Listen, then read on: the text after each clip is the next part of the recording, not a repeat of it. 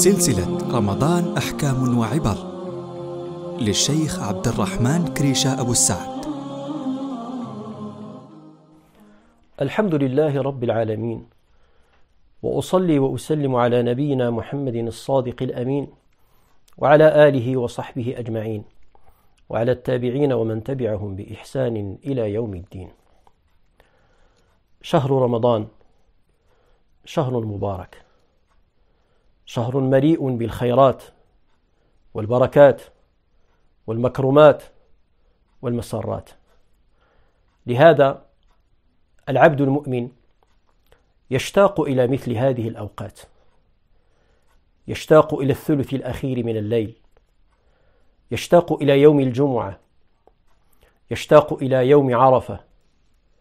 يشتاق إلى شهر رمضان. يشتاق إلى لياليه.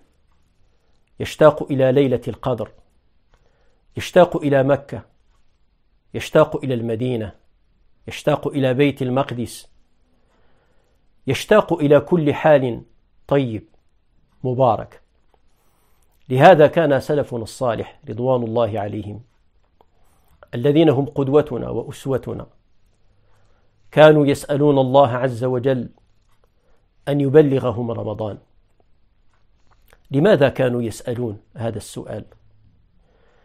لأنهم يعلمون ويدركون حقيقة أن هذا الوقت الذي هو شهر رمضان وقت فيه الخير كله والبركة كلها فيه الكرامة فيه العز فيه العلو فيه الشرف فيه نيل الدرجات العلى فيه تكفير السيئات فيه التعاون فيه الصبر. رمضان مدرسة تربوية عظيمة. من أدركها حقيقة جنى من ثمارها. وسنأتي بحول الله عز وجل على تناول هذه المسائل واحدة واحدة. أسأل الله عز وجل التوفيق والسداد. لهذا قلت سلفنا الصالح كانوا يسألون الله عز وجل ستة أشهر قبل بلوغ رمضان أن يبلغهم هذا الشهر. لأنهم يدركون أن من بلغ وكان التوفيق حليفة فهو من الفائزين. ولهذا ورد عن النبي صلى الله عليه وسلم أنه لما رقى المنبر يوما وأمن ثلاث مرات في كل مرة يقول آمين فسأله الصحابة رضوان الله عليهم لماذا أمن النبي صلى الله عليه وسلم؟ فأخبرهم أن جبريل أتاه آنفا فقال له رغم أنف امرئ أدرك رمضان فلم يغفر له. هذا هو الحرمان الحقيقي أن تدرك رمضان وتخرج منه فارغا. محروما. محروما من قربك من ربك عز وجل. محروما من الحسنات. محروما من تكفير السيئات. محروما من نيل الدرجات. هذا هو الحرمان الحقيقي. وليس حرمان المال. وليس حرمان الصحة. فلهذا كان الصحابة رضوان الله عليهم وسلفنا الصالح عموما كانوا متأسين بالنبي صلى الله عليه وسلم. النبي عليه الصلاة والسلام كان في رمضان حاله يختلف عن حاله في سائر الأيام. حاله في أول الشهر يختلف عن حاله في آخر الشهر. حاله في الليل ليس كحاله في النهار. كان النبي صلى الله عليه وسلم يعتني بهذا الشهر ما لا يعتني بغيره من الشهور. الاعتناء بشهر رمضان حقيقة لا يكون حتى يدخل الشهر. الاعتناء بشهر رمضان يكون قبله. ولهذا كان النبي صلى الله عليه وسلم كما أثر من حديث عائشة رضي الله تعالى عنها أنه يكثر من صيام شعبان. وكان يقول إن هذا الشهر يغفل عنه كثير من الناس. هو شهر بين رجب الذي هو شهر الله الحرام وبين رمضان. فكانت أمنا رضي الله تعالى عنها وعن أبيها تقول كان يكثر من صيام هذا الشهر وذكر أهل العلم من فوائد هذا الإكثار أنه استعداد لهذا الشهر. فكان النبي صلى الله عليه وسلم يكثر صيامه. والعبد إذا استعد في شعبان للعمل الصالح ولفعل القربات هان عليه العمل في رمضان. ورد في بعض كلام أهل العلم أن رجب شهر الزرع وأن شعبان شهر السقي. وأن رمضان شهر القطف.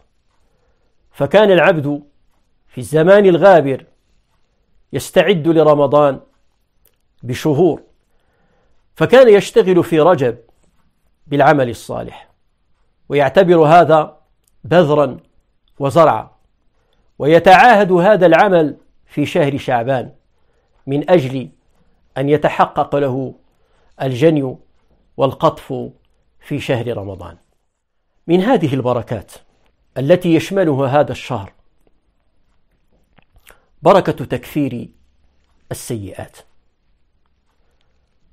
ثبت في الحديث الصحيح عن النبي صلى الله عليه وسلم أن من صام يوما في سبيل الله هذا اليوم قد يكون واجبا وقد يكون مستحبا.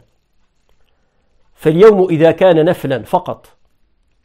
الله عز وجل بكرمه ورحمته وعفوه وبره وإحسانه يباعد بين العبد وبين النار سبعين خريفا.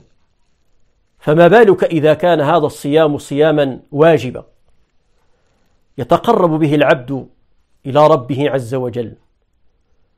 ومن المعلوم في شرعنا أن القربة والعبادة والعمل الصالح في الواجب يكون أعظم أجرا وأعلى درجة من التقرب بالعمل النفل المستحب المسنون.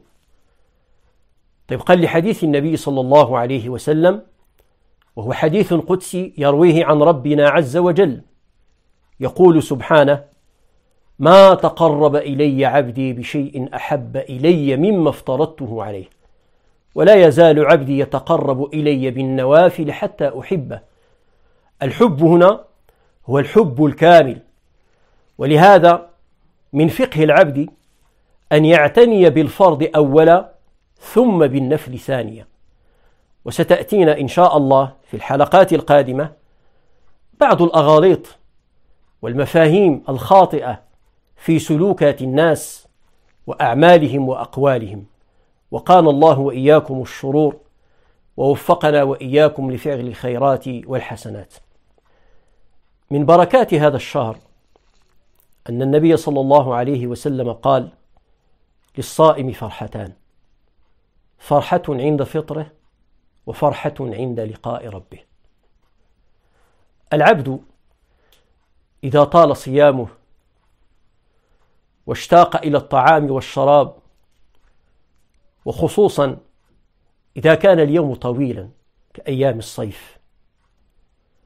ويترك العبد طعامه وشرابه لله عز وجل ويصبر ويتحمل فهو يشتاق إلى هذا الوقت الذي يكون فيه فطرة. ولهذا سن النبي صلى الله عليه وسلم تعجيل الفطر وتأخير السحور. وهو من السنن المستحبة بل من الأمور التي أمرنا بها الشارع أن نخالف فيها أهل الكتاب. فإنهم يؤخرون الفطور ويعجلون السحور وفعلهم هذا تعنت ومشقة بخلاف شريعتنا هي شريعة رحمة هي شريعة سمحة فيها تخفيف من ربنا عز وجل. فقد أمرنا النبي صلى الله عليه وسلم أن نعجل فطورنا وأن نؤخر سحورنا وأن نضع أيماننا على شمائلنا في الصلاة. أسأل الله عز وجل بمنه وكرمه أن يعلمني وإياكم ما ينفعنا وأن ينفعنا بما علمنا وأن يزيدنا علما وأن يجعلنا وإياكم ممن يستمعون القول فيتبع أحسنه. هذا وصلى الله وسلم وبارك على نبينا محمد وعلى آله وصحبه.